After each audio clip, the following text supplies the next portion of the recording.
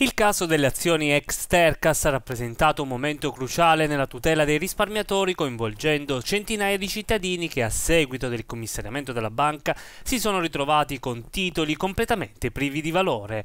Una recente sentenza del Tribunale Civile di Teramo ha ribadito con forza l'obbligo degli istituti di credito di fornire informazioni chiare, complete e personalizzate ai propri clienti. La giudice Daniela D'Adamo ha evidenziato come un prospetto informativo di 222 pagine, per quanto dettagliato, non sia uno strumento adeguato per consentire a piccoli risparmiatori di comprendere appieno i rischi delle operazioni finanziarie.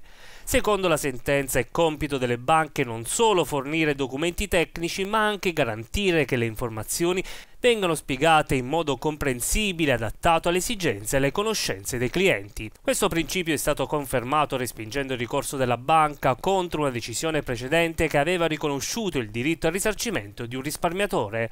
Quest'ultimo aveva investito circa 5.000 euro in azioni nel 2006, anni prima del commissariamento della banca nel 2012 e del successivo ingresso della Banca Popolare di Bari. Negli ultimi anni vicende come questa hanno contribuito a rafforzare le normative in materia di trasparenza bancaria sia a livello nazionale sia europeo. La Corte di Cassazione ha consolidato il principio secondo cui gli intermediari finanziari devono garantire che i loro clienti possano operare scelte consapevoli fornendo loro tutte le informazioni necessarie in modo chiaro e accessibile.